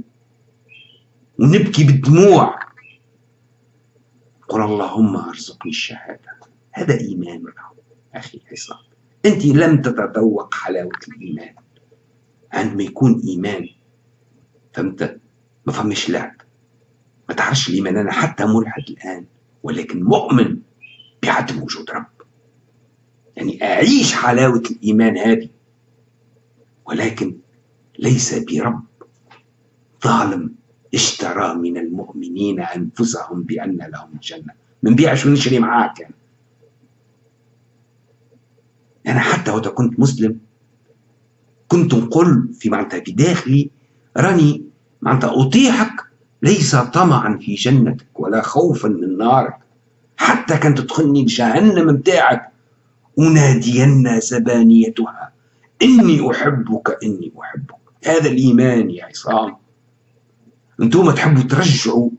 الإسلام يعني مجرد لعبة. طبعا الإسلام نتكلم أنا محمد بيدو. خاطر فكرة الإسلام فكرة أخرى. فهمت؟ موضوع آخر. ما يسمى لب الأديان موضوع آخر هو أعظم من محمد وأعظم من الإسلام وأعظم من المسيحية وأعظم من كل الأديان. هي روح الكون روح الوجود روح الحياة. إذا أخي كان جاء القرآن من عند رب الفاعل. راه منع العبيد بنص واضح. وإن آمن به واحد برك لأن الحق والإنسانية ما معهاش لعب. هذا اللي لازم تفهمه. نواصل الحديث. لهنا آه، فما حاجة أخرى زادة آه، نحب نقولها لك.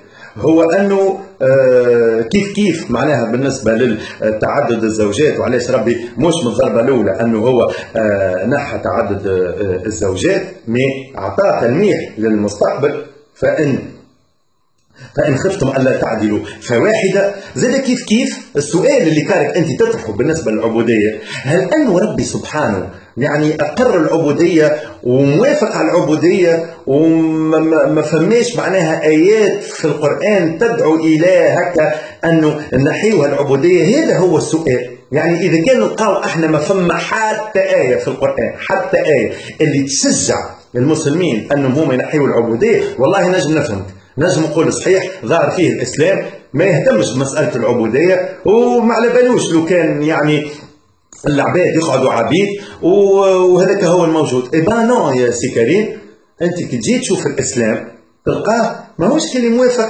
هكا على العبودية على أساس أنه هو آه، مخليها الحكاية مسيبه لا هو ربي سبحانه كي نزل آيات على العبودية ساعة أول حاجة مش معناها أنه موافق على العبودية. لا هو معناها أنه مسألة موجودة يلزم التعاطي معها ما التعاطي معها يعني آه كمشكل ما نجموش أنه إحنا نحيوه آه، فرد ضربة. على خاطر باش تخلق ثورة باش تخلق عدم قبول والعباد باش تثور وما تحبش وحتى العبيد زاده هما بيدهم ما همش كلهم باش يقبلوا. يعني واحد عبد عايش عند السيد نتاعو لاباس عليه ياكل ويشرب وراكح اموره مريقله وياخذ في فلوس donc تجي تقول له اسمع هاي حررتك هاي good bye اخرج برا امشي دبر راسك وما عادش تعيش معاه. يقول لك وين باش نخرج؟ وين باش نمشي؟ وين حياتي كل عايش هوني واولادي واحد ومن يا في مخه معناها. إحنا في تونس وعملنا ثورة ونادينا بالحرية وخبز وماء وبن علي لا وكل الحكايات هذوكم الكل. هاك تشوف تو في برشا توانسه تحب بن علي عاود يرجع. هاك تشوف في برشا توانسه بايعتها الحريه ما نحبش. قال لك الحريه رجع لي رجع لي بن علي. وأنا يا خويا نحب آه معناها الأمن والأمان والماكلة والقوت اليومي. هذا أهم من الحرية. فهمتني يا سي كريم؟ مش الناس الكل راهي معناها بالنسبة لها الحرية حاجة مهمة وحاجة هايلة وحاجة مش هكا مش هكا مش هكا. العبد معناها يلزم يتعاطى مع الأشياء. معناها تصور أنت في القرن الواحد والعشرين والعباد ما زالت معناها عندها مشكلة مع الحرية. فما بالك في القرن السابع وفي القرن الثامن؟ نعاود نرجع لهنا لنفس السؤال. هل انه الإسلام أقر واعترف وماهوش متقلق من العبودية وإلا انه الإسلام شجع على عتق العبيد؟ هذا هو السؤال اللي إحنا يلزمنا نطرحوه على رواحنا ربي سبحانه في الآيات القرآنية دونك شجع على عتق آه العبيد وتنجم تلقى مثلا هنا في القرآن بسم الله الرحمن الرحيم والذين يبغون الكتاب مما ملكت أيمانكم فكاتبوهم إن علمتم فيهم خيرا. صدق الله العظيم. يعني لهنا ربي سبحانه يقول أنه إذا كان أنت عندك عبد والعبد هذايا تعطي فيه في شهرية وعنده فلوس خاطر العبيد كانوا ياخذوا في فلوس.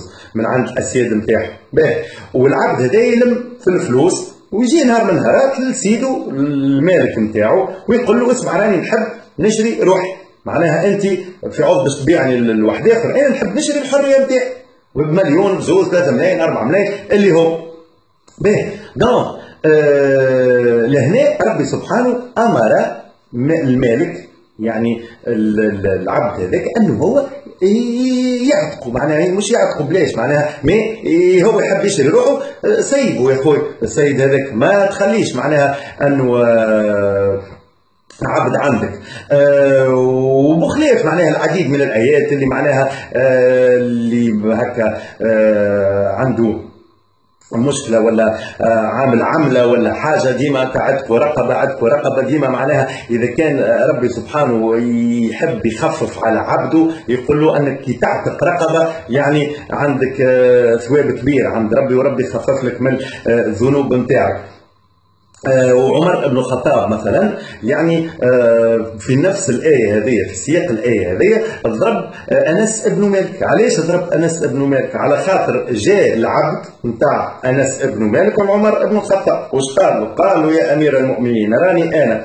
لميت فلوس ونحب نشري روحي. مشيت للمالك نتاعي وقلت له راني هاو الفلوس وسيح ويعطيني الحرية نتاعي باش يشري روحه يا أخي أنس بن مالك ما حبش. يا أخي عيط عمر بن الخطاب. لانس بن مالك وضربه ضربه بالدرة نتاعو donc ضربه وقال له كيفاش العبد نتاعك عنده الفلوس وحب يروحه وأنت ما تبيعوش؟ هاو معناها الأخلاق نتاع المسلمين هاو الأخلاق الصحيحة نتاع الإسلام. والرسول صلى الله عليه وسلم ما كان عنده حتى عبد بس عنده صحيح شكون يخدموا فيه الموالي نتاعو كما زيد بن حارثة. أما ما كان عنده حتى عبد عنده زوز ملك يمين اللي هي ماريا القطية وريحانة بنت شمعون صحيح؟ آه، مي بالطبيعة هذا كيف وهو كيف الرجال الكل المسلمين معناها أنه هو عنده ملك يمين. ماهيش حاجة آه، يعني باش تشذ معناها على الوقت هذاك. أما كما قلت لك مثلا ما كانش عنده عبيد وقد ما هدوا له عبيد هو يعتقهم هو يهدي له عبيد هو يعتقهم يهدي له عبيد وهو يعتقهم. معناها الثقافة يعني المجتمع المسلم كانت فيه المسألة هذه بتاع أنه موجود العبودية صحيح؟ ما كان فما تشجيع كان فما تشجيع على العتق باش نكون معاك صريح زاد عبد الله بن عمر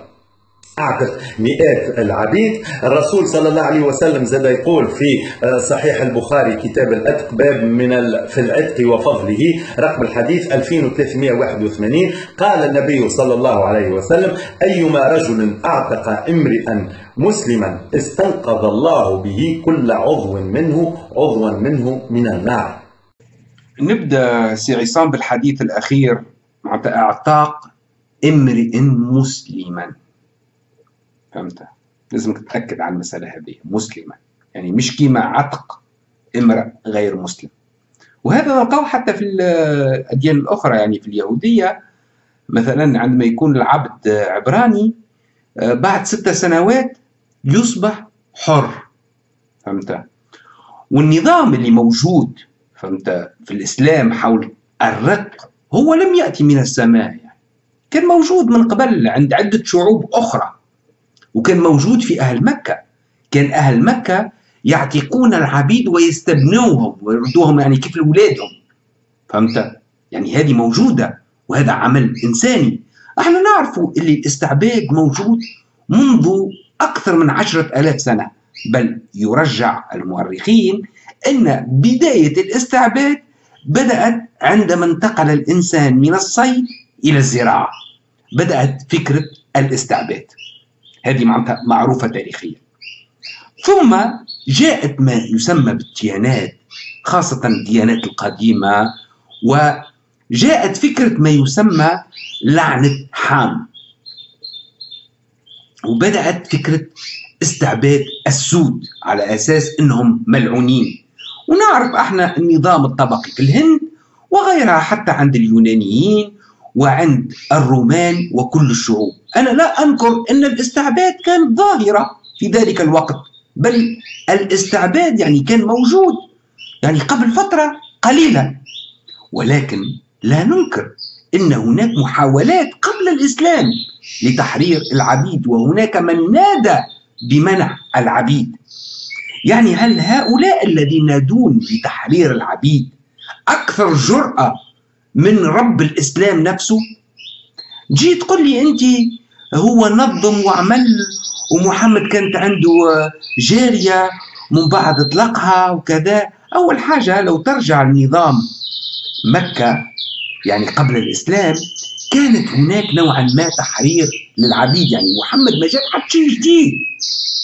هذيك العادات وإن العبد يشري نفسه نفس الشيء موجودة. يعني هو محمد يعني فضل هذيك الأمور ولكن لم يحرم العبيد. يعني استنينا حتى مجلس الأمن وقرار دولي يحرم العبيد ويمنع قانونيا العبيد رغم أن العبيد ما زالوا موجودين حتى التو ولكن هل هناك نص إسلامي الآن يا سيدي خلينا من الماضي يحرم الاستعباد؟ لا. ولا يمكن لأن عشرات الآيات تتكلم على العبيد.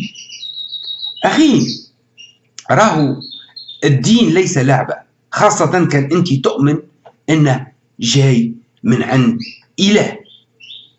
يعني الحق حق والعدل عدل. وما ينفع الإنسان ينفع الإنسان. هذا الدين اللي ما اشترى من المؤمنين أنفسهم بأن لهم الجنة. من الجمش يشري ثروتهم. خديجة ما خسرتش كل أموالها على الإسلام وغيرهم من الصحابة. إذا التبرير أنها تجارة وكان معناتها حرم لهم العبيد تو ما يؤمنوش به فهمت؟ هذا كلام ليس له أي أساس من الصحة. هذا دليل على أن الإسلام ليس معناتها وحي إلهي وأن الأشخاص كانوا يؤمنوا به على مصلحتهم. ليس لأنهم يؤمنون بجنة ونار. لأن لو كان هو كلام إلهي ولو كان الصحابة ولو كان محمد يؤمن أن تحرير العبيد هو واجب إنساني راهو ما تراجعش. هو قال لو وضعتم الشمس في يميني والقمر في يساري على أن أتخلى عن هذا الشيء. لن أتخلى. هذا في مكة طبعا. وقت كان إنسان باهي. فهمت؟ وقت كان إنسان باهي وكان متخلق وكان متربي وكان متعلم الحضارة بتاع مكة. ولكن وقت مشى المدينة مع الأسف معناتها فسد المهم يعني أكتفي بهذا القدر يعني للفيديو هذه باش نزيد الفيديو الأخرى اللي هي تقريبا نفس الموضوع أظن خاطر سمعت الأول نتاعها. أما باش نحطها وكان لقيت حاجة باش نجاوب عليها تو نجاوب عليها. ولكن حبيت نقول لك أن ونعاود نرجع التحدي نتاعي ليس هناك تحريم للعبيد وليس هناك تحريم للضرب أما بالنسبة لتعدد الزوجات أنا مانيش ضده أنا قلت أنا بالنسبة لي لازم تعطي نفس الحقوق للمرأة والرجل. يعني حرية كاملة. كان هو عنده الحق أكثر من امرأة هي عندها الحق أكثر من راجل وكل واحد يدبر راسه. حرية هذه حرية شخصية. خلينا نسمعوا بقية الفيديو اللي هي سبع دقائق أظن ونشوفوا شنو فيها. كان فما رد نرد عليك. آه سينو يعني أختم هذا آه الفيديو. شجع زاد في المسلمين على عتق العبيد. يعني كي نجيو نشوفوا الإسلام. آه في الآيات القرآنية يشجع على عتق العبيد. دونك وفي الأحاديث نشجع على عتق العبيد عمر بن الخطاب زاد كيف كيف كان يوصل حتى يجبر. مالك العبد أنه هو يحروا معناه إذا كان ياخذ يدفع الفلوس بالسيف عليه بالعصا زاد كان يجبره. عبد الله بن عمر كان يعتق في مئات عبيد الرسول ما كان عنده حتى عبانك وحاجات كما هكا الكل. يظهروا انه الإسلام ماشي في أنا اتجاه. أما باش نكون معاك يعني نزيه خاطر ما نحبش التلوعيب وإخفاء الحقائق. يعني عكس ما أنت قلت اللي أنا نبرر وندرى شنو وكذا ونكف ونخفي الحقيقة وكافر آه، على خاطرني مبرر للإسلام وخاطرني يعني آه، ما نحبش نقول الحقيقة كيما الشيوخ نتاعك معناها آه، هذوكم. أنا والحمد لله مانيش كيما الشيوخ نتاعك اللي هما معناها حسب ما حكيت عليهم هذو منافقين معناها اللي هما يجيو يبرروا للإسلام هما ما همش مقتنعين. كان يخرجوا من الإسلام خير معناها على الأقل انت هاك آه، ماكش منافق آه، مي آه، يعني فما برشا حاجات ماذا بيك تزيد تتعلمهم يعني في الإسلام على العموم. اذا كما قلت لك سي عصام يعني عتق العبيد موجود في كل الأديان ونظام العبيد وغيره ماهيش حاجة جديدة بالإسلام. وأنت لو ترجع لأكثر الآيات بل كل الآيات وأغلب الأحاديث يعني تتكلم على عتق رقبة مسلمة أو مؤمنة. مش يعني أنها الكافرة آه، ما يتمش عتقها. بل حتى أن بعض العلماء يقول يعني لو يتم يعني إطلاق سراح آه، رقبة كافرة يكون السبب في إسلامها يعني مستحب. أما التركيز على المؤمنة والمسلمة وهذا معناتها يوريك أن الإسلام عنده نوع من العنصرية. يعني يعتبر روحه هو على حق والباقي على باطل. يعني لا يهتم بالإنسان كإنسان. هذه معناتها مسألة واضحة. إذا النقطة المهمة. ولا داعي لللف ولا الدوران. وأنا قلت لك كافر كافر بمفهوم اللغة. وأنت يعني كافر بمفهوم حتى الدين. يعني على حسب الأزهر وعلى حسب المراجع الإسلامية تعتبر كافر دينيا ولغويا. فهمت؟ أما أنا لغويا نجم نقول ماكش كافر لأنك ما تعرفش لأنك تنقل دون فهم دقيق للمسألة. ومانيش أنا باش نكفرك ولا شيء فيك بالعكس. ولكن الذي معناتها أفضل أن تكون أكثر موضوعية. خاصة في مسألة الضرب. لا تقول لا بسواك لا بستيلو لا هزل اليد لا صيحان. ما عجبتكش طلق. هذه نحيوها الآية جملة واحدة. فهمت؟ أما آه بالنسبة آه للشيوخ متاعي ما الشيوخ متاعي برك؟ ما فماش شيخ قابلته فهمت ولا عرفته ولا حتى اللي باتصال بهم. أنا عندي اتصال بالشيوخ توا الشيوخة فهمت؟ ويجيوا لأوروبا ونتقابل معاهم وكذا وهم لا يطبقون الإسلام أصلا. حتى بعضهم سألته قلت له تو أنت عشرين سنة وأنت إمام. قال لي أنا عشرين سنة وأنا نكذب عليهم. كان نقول لهم الحقيقة تو يعلقوني. فهمت؟ يعني هناك خوف أيضا من الأئمة أو معناتها الأئمة اللي يعرفوا الدين. طبعا ما نقولش كلهم وإنما نقول نسبة كبيرة منهم خاصة من يتاجرون في الدين. من السياسيين فهمت؟ يعني اللي يتبعون السياسة أو من الدعاة. أنت تتصور مثلا آه، عدنان إبراهيم مسلم؟ ها؟ معروف عدنان إبراهيم. أرجع أرجع كيفاش جاء وكيفاش طلب اللجوء ولقاه مورد رزق. فهمت؟ وغيره غيره غيره فهمت؟ يعني تجار تجار دين. هل تتصور أنهم مسلمين؟ لا. أنا بالنسبة لي اللي يمكن نقول أنهم مسلمين هما اللي جاهدوا في سبيل الله اللي يعطيوا في رواحهم يعني الإنسان باش يوصل يعطي يعني روحه أكيد عنده إيمان. فهمت؟ غنيم غنيم أنا معناتها نتصور مسلم بالحق. هذاك مسلم. فهمت؟ غنيم مسلم. أما تقول لي رشد الغنوشي والقرضاوي والحوني والنعرف شكون ونعرف شكون هذوما كلهم فهمت؟ مسلمين؟ ها؟ مسلمين هما يرسلوا في ولادهم يقراوا ولا اللوز ولا آه فلان اللي يبعث الناس للجهاد وهو ولاده يبعث فيهم لأمريكا يقراوا مسلمين؟ ها؟ يعني يكون منطقي شوية يعني إحنا نحكم على الأشياء معناتها من العمل نتاعها. ما يكفيش. ما يكفيش. تقول أنا مسلم. وريني التصرفات نتاعك تصرف مسلم ولا لا. ها؟ راهو الإسلام ليس نطق كلام وإنما تصديق. تصديق وعمل. هذا هو الإسلام. يعني أنت كان تخاف من الموت وتخاف من الشهادة وتخاف معناتها من أن تطبق شرع. الرب كما هو شيء طبيعي لا تعتبر مسلم. فهمت؟ هذا هذه مسألة واضحة نكونوا واضحين. فهمت؟ لو أنت تعطل شرع معناتها اللي من شرع الله لا تعتبر مسلم بالمفهوم الإسلامي المحمدي ولكن كما قلت لك ثم أنواع أخرى من الإسلام اللي هي أكثر إنسانية والمذاهب كثيرة جدا. أما أسلوب الذين يريدون أن يبيضون الإسلام فهمت؟ يعني بالكذب والخداع واللعب بالآيات والتأويلات والمعجزات زعمة زعمة و آه، التفسير العلمي للقرآن وكلهم هذوما. كلهم كلهم مخادعين يا أخي. يا أخي واضحين أمورهم. خلينا نسمع شنو كمل تقول. باش نكمل نجاوبك. أه باش نكون معاك آه، واضح وصريح صحيح أن المسلمين ما عملوش بالقاعدة هذه نتاع العبودية اللي يلزم نشجعوا على عتق العبيد بل بالعكس يعني آه، عملوا العار. في آه، ما يسمى الفتوحات معناها اللي هما يمشيوا يصدموا على بلاد ويجي يقول لك هيا الإسلام أو الجزية أو معناها أو معناها الحرب. يعني لهنا صاروا فظائع كبيره ياسر وصار سبي كبير ياسر.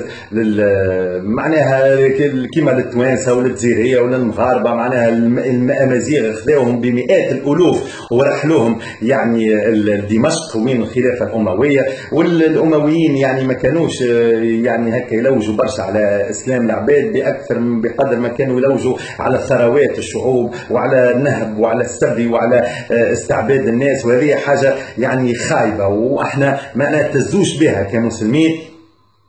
وعمرنا ما آه، ما كنا فرحانين بها الحاجة هذه. خاطر آه، إحنا كيف نشوفوا نشوفوا السيرة نتاع الرسول وكيف نشوفوا الإسلام على شنو يشجع هو في حقيقة الأمر. نلقاوه في الآيات وفي الأحاديث وفي السيرة ما يشجعش على استعباد الناس. وللأسف معناها في عوز أنه تتطور العقليات للاتجاه نتاع يعني آه تحرير العبيد وكذا مشات في اتجاه الاستعباد واحد. وهذا بالطبيعة يعني الغلطة لهنا أنا نقول راهو ماهوش من الإسلام الغلطة من المسلمين اللي آه، هما معناها ما فهموش دينهم على قاعدة. وما نحملوش الإسلام الأخطاء لأناس لم يعرفوا كيف يطبقوا الإسلام ولم يعرفوا كيف يفهموا الإسلام. سي عصام تقول أنت الغلطة مش من الإسلام وإنما الغلطة من المسلمين ما فهموش الإسلام.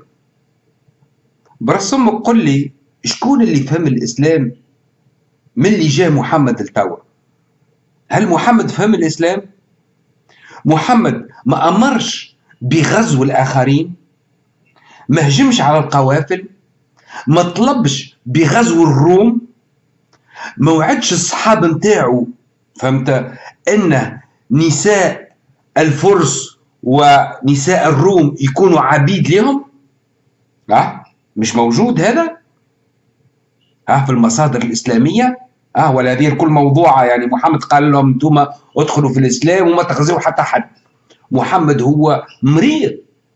وبعث أسامة لمحاربة الروم. فهمتني؟ محمد ما خذاش عبيد. ها يعني هذا ما عرفش أنا شكون هل أبو بكر ما عملش اللي عمله محمد؟ عمر ما غزاش مصر وما غزاش آه، آه، الشام؟ ها؟ مازالوا الأمويين ما جاوش. وعثمان؟ ها؟ يعني الأمويين جابوا هذاك الشيء من رأسهم؟ مو على سنة رسولهم محمد. تبعوا الخلفاء الراشدين وتبعوا محمد. تنجمش معناتها بكل صراحة تقول لي عقيدة ما يفهمها حتى واحد إلا أنت فقط. أو من تأخذ منهم الدين ها؟ تفهم الإسلام فقط والباقي الكل حكايتهم فارغة والعلماء الكل حكايتهم فارغة ها؟ يعني قل لي ترى قل لي. أعطيني شكون اللي فاهم الإسلام؟ يعني الإسلام هذا بتاع عصام عمر اللي ناكله من عند فلان وفلان نعرفش شكون فهمت؟ هو الإسلام الحق. علاش ما بعثكش رسول؟ حق تولي رسول ولا المهدي المنتظر؟ علاش لا. فهمت؟ ما فما في الأحاديث إن مهدينا يأتي بإسلام غير الإسلام وبقرآن غير القرآن. ها؟ اذا سي عصام فكر مع راسك يعني فكر فكر شوية حتى واحد مفهم الإسلام. ها؟ كله غلط الكتب كل غلط كل شيء غلط. خلينا نكمل ونسمع شنو باش تقول. انت في الحقيقة شي يحير ما نفهمك راهو كي يبدا واحد تحت سيطرة عقيدة ما ينجمش يفكر بموضوعيه c'est tout à fait normal هذا هو. آه يعني لهنا donc الحاجة اللي حبيت نقولها لك هو أنه الإسلام هل يدعو إلى العبودية أو لا يدعو إلى العبودية؟ هو شوف يعني آه، تو في العصر نتاعنا اللي والحمد لله العقليات تطورت ووصلت المرحله أنه آه، تخلصت من العبودية. والإسلام والحمد لله كان من الأديان التي تشجع على عتق العبيد وعلى تحرير العبيد. ولهنا بالطبيعه من البديهي أنه إحنا نقولوا اللي الإسلام يشجع على آه، عتق العبيد ويشجع على التحرير. وفي العصر هذايا آه، هل أنه أحنا نجم نحرموا العبودية وإلا لا؟ آه، أنا بالطبيعة مانيش مفتي الجمهورية باش نجم نحلل ولا نحرم ولا يعني ما عنديش المنصب هذا اللي باش خاولي باش نحلل ولا باش نحرم. أنا إنسان نجتهد مي بالطبيعة في حدود الاجتهاد نتاعي نجم ناكد لك أنه بال معناها الفهم متاعنا الصحيح للدين يعني والقراءة متاعنا لغايات الدين رانا نجم أأكد لك أنه بالطبيعة توا العبودية واستعباد الناس حاجة بالطبيعة محرمة وحاجة يعني بالطبيعة ماهيش باش تفرح ربي سبحانه بالعكس سوف تثير الغضب نتاعو على خاطر الإنسان وقت اللي يعني بالبديهة وبالبون سونس كما إحنا نقولوا وبالمنطق يعني تخيل إحنا إذا كان آه، قضينا على وباء اللي هو الكوليرا واللي هو عافانا وعافاكم الله السرطان وإن شاء الله نتخلصوا منه. يعني فوا بعد مجهودات وتعبوا ابحاث علمية وكذا ونشرنا الأدوية في العالم أجمع والناس الكل برات ومن بعد يجي واحد يعاود ينشر هالداء هذا ولا يعاود ينشر المرض هذا بين الناس معناها هذا بالطبيعة يعتبر مجرم وهذه بالطبيعة حاجة خايبه وحاجة غلطة معناها بالمنطق راهو فهم الدين راهو فما برشا عقل وراهو فما برشا منطق مش المفسرين هما اللي باش آه يعني يعطيو الحقائق الكل ويعطيو الحاجات الصحاح الكل.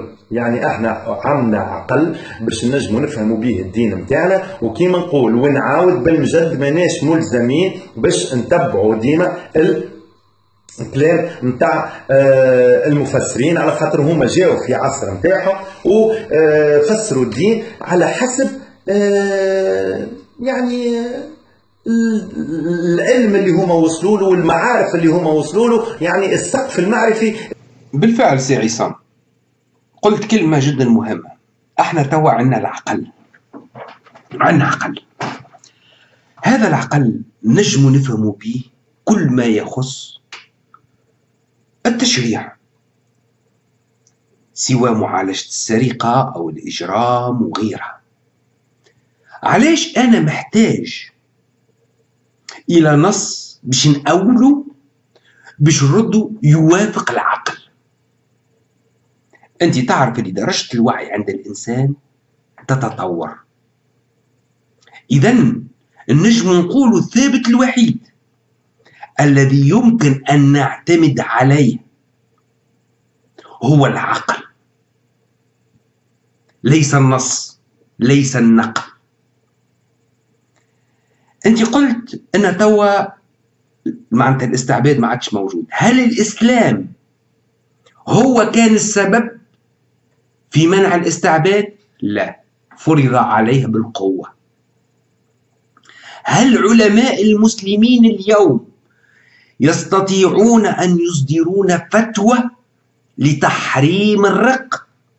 لا لا يستطيعون لأنهم سوف يعطلون عشرات من الآيات القرآنية.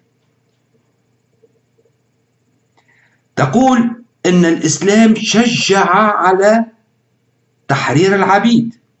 ليس الإسلام وحده شجع على تحرير العبيد بل موجود في عدة أديان أخرى موجود فهمت؟ عتق العبيد يعني مش وحده. بل أذهب أكثر من ذلك إن هناك عبر التاريخ محاولات لمنع الاستعباد. وبالقانون منع الاستعباد. والآن الاستعباد ممنوع ولكن ليس محرم شرعيا. وهذه هي المصيبة الزرقاء مثل ضرب المرأة. هل تجرؤ أن تحرم أو أي عالم دين أنت تكون معناتها ماكش معناتها في مرتبة أنك تجتهد؟ هل يجرؤ عالم دين اليوم سني أو شيعي يحرم ضرب المرأة يقول حرام شرعا؟ لا ما يقدرش. طبعا إلا في حالة واحدة. إنه تبديل شوية في استنباط الأحكام. كما قلت لك أنا عندي طريقة. لأني معناتها أعرف كيف أستنبط الحكم من النص مع الاعتراف بالنص كما هو. مانيش باش نأولو أنا ولا نبدلو ولا نكذب. لا هذاك كان في عهد محمد. بالفعل كان في عهد محمد. وهذا الموضوع فهمت؟ مذهبيه معناتها نعرف رأيك فيه فهمت؟ في هذا الموضوع. اذا أنا أتمسك بالتحدي متاعي. ليس هناك تحريم للاستعباد شرعا وليس هناك تحريم لضرب المرأة. وغيرها من الأمور الغير إنسانية الموجودة في الإسلام مثل تحريم قطع يد السارق وغيرها والإرث وغيرها من الأمور التي تهين المرأة وتهين الإنسان كإنسان في عصرنا الحاضر. الشيء الوحيد الذي يمكن أن أتفق فيه معك هي روح الأديان أما كل هذه الأمور بالنسبة لي هي قشور. ليس لها أي قيمة اليوم. وتمسك المسلمين بهذه القشور سوف يمنحهم على أن يلتحقوا بركاب الحضارة. وهذه وجهة نظري. خليني نكمل نسمع شنو قلت. باش نكمل نجاوبك. آه لهنا باش نحب نحكي معاك في موضوع توا مهم ياسر اللي هو مسألة يعني الإسلام. هل هو صالح لكل مكان وزمان؟ نعم أم لا؟ نتقابلوا آه، بعد شوية وباش نحكيو على الإسلام هل أنه صالح لكل مكان وزمان؟ سؤال جدا مهم. هل الإسلام صالح لكل زمان ومكان؟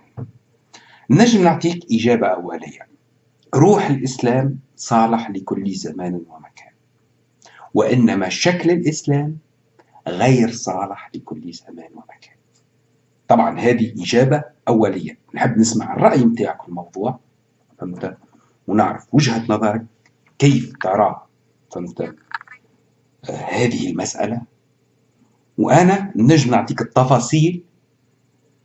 معناتها من وجهة نظري أنا الشخصية في مسألة هل الإسلام صالح لكل زمان ومكان أم لا.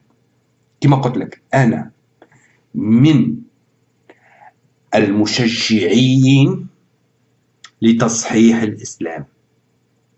وأنا لا أسميه تصحيح في الحقيقة وإنما أسميه إعادة الروح للإسلام. ما نسميهش تصحيح. على خاطر عندما نقول تصحيح يعني كأنه هو غلط وأنا نحب نصلحه. لا. المشكلة الكبيرة هي الجملة اللي أنا نقولها في أي فيديو تاعي السلام على من اتبع العقل ونبذ النقل وفكر. شكرا سي عصام وتأكد أني أنا سعيد بالحوار هذا رغم أنه طويل يعني الفيديو باش تكون ساعتين. وياسر باش يقلقوا وطبعا ياسر خاصة من المشاهدين متاعي يعني يعني ما يحبوش النقاشات هذه. ولكن نقول لهم معناتها ما يحبوش يسمعوا ما يحبوش يسمعوا. أنا نعمل في هذه الفيديوهات يعني باش نعبر عن رأيي في الدرجة الأولى. وتأكد يا سي عصام أني رغم اللي أنا ملحد. آه ولكن المسلمين هم أهلي وأحبابي وأكثر أصحابي هم المسلمين. ونتفاهم معهم في يسر حاجات لكن أختلف معهم في بعض الشكليات فقط. وهذا اللي يخلي كما قلت لك في الفيديو أنا مكروه من غير المسلمين أكثر من المسلمين. شكرا ومع فيديو قادم وبسلامة.